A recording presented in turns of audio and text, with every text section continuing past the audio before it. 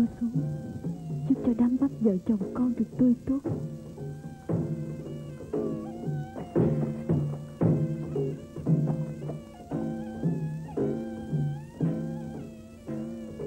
Hôm nay bà con bệnh tật nhiều, sống rất khổ cực, không có nước, bày phải đi nói với ngài xin ngài giúp cho dân làng năm nay được khỏe mạnh.